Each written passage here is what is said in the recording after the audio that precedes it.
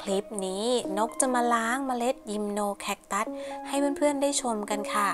สำหรับเพื่อนๆท่านไหนนะคะ ที่ยังไม่เคยล้างเลยก็มาทำไปพร้อมๆ กับนกเลยค่ะ ลักษณะของฝักที่เราจะเก็บมาล้างนะคะ ก็อย่างที่เพื่อนๆเห็นเลยค่ะ ก็คือ มีลักษณะเป็นสีชมพูนะคะ แล้วก็บางฝักเนี่ยอาจจะปริแบบนี้แล้วนะคะ แต่จริงๆเราไม่ต้องรอให้ฝักปริก็ได้นะคะ แค่เป็นสีชมพูเนี่ยก็สามารถเก็บมาล้างได้แล้วค่ะ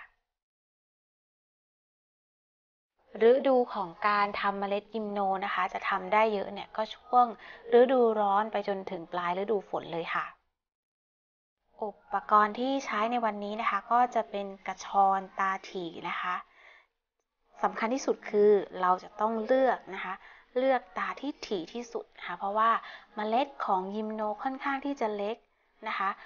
อาจจะทำให้เขาลอดหลุดออกมาตรงตาข่ายได้นะคะ เดี๋ยวเราไปล้างกันเลยนะคะ วิธีการล้างก็ใช้น้ำสะอาดเนี่ยแหละค่ะ ล้างเพื่อที่จะนำ เยื่อของผลของเขานะคะ ออกให้หมดค่ะให้เหลือแต่เมล็ดนะคะ เมื่อเราบี้แบบนี้นะคะ เพื่อนๆก็จะเห็นเนื้อข้างในเนี่ย เป็นสีขาวสีชมพูนะคะ เราก็จะเอาทิ้งไปนะคะสำหรับเปลือกแล้วก็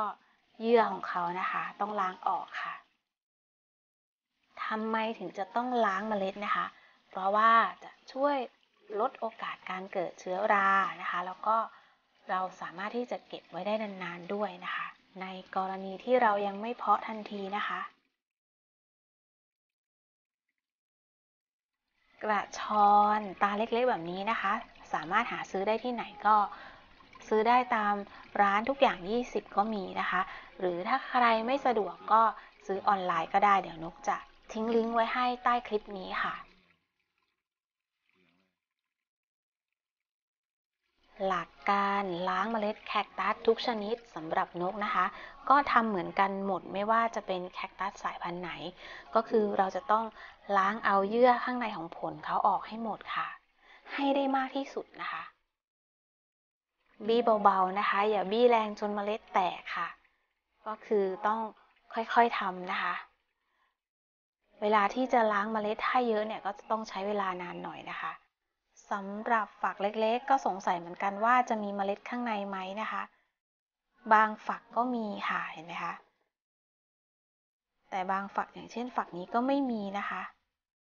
อันนี้ก็คือความสมบูรณ์ของดอกอาจจะไม่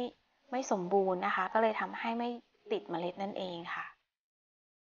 ก็สามารถเกิดแบบนี้ได้นะคะ เป็นเรื่องธรรมชาตินะคะ เวลาที่เราพาะแล้วข้างในมีเม็ดน้อยนะคะ ก็ เป็นเรื่องธรรมชาติค่ะ ไม่ต้องกังวลค่ะ ฝักที่เล็กๆ รีบๆ แบบนี้ก็จะทำให้ติดเมล็ดน้อยค่ะ ขึ้นอยู่กับความสมบูรณ์ของดอกนั้นๆนะคะ ต้นนั้นๆนะคะ เสร็จเรียบร้อยแล้วที่สามารถมีเมล็ดก็ได้2ฝักนะคะเมื่อกี้ อันนี้ล้างเสร็จแล้วค่ะ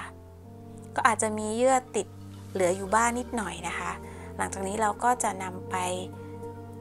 ตากแดดไว้สัก2แดดค่ะ ถ้าให้ดีก็เป็นแดดที่แรงๆจัดๆไปเลยนะคะ ครบ 2 แดดเราก็สามารถเก็บเมล็ดได้แล้วค่ะ หลังจากนี้นะคะ ถ้าเรายังไม่เพาะก็แนะนำให้เก็บใส่ซองซิป หรือว่าหลอดใส่เมล็ดไว้ก่อนค่ะ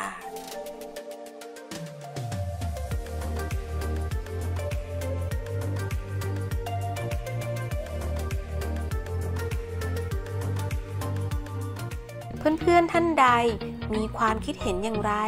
สามารถคอมเมนต์แนะนำบอกนกมาได้ใต้คลิปได้เลยนะคะ หรืออยากให้นกทำคลิปเกี่ยวกับอะไร ก็สามารถคอมเมนต์บอกนกมาได้เช่นกันค่ะ นกขอฝากให้เพื่อนๆ กดไลค์ กดแชร์ กดติดตาม ช่อง YouTube วิชุรดาการ์เด้นเพื่อเป็นกำลังใจให้นกด้วยนะคะ หรือจะเข้าไปทักทาย พูดคุยกับนก ได้ที่ Facebook วิชุรดาการ์เด้นได้เลยค่ะ แล้วพบกันใหม่คลิปหน้าค่ะ สวัสดีค่ะ